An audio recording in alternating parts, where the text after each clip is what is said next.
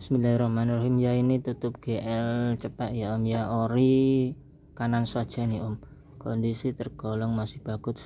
Fisik utuh om tanpa retak tanpa pecah. Minusnya nilai minus cuma ini pakunya patah satu nih. Bagian atas bawah masih ada. Ini masih layak pakai om. Masih bisa dipakai. Fisiknya utuh om. Tanpa retak tanpa pecah. Tergolong masih bagus. Kanan saja ya om ya.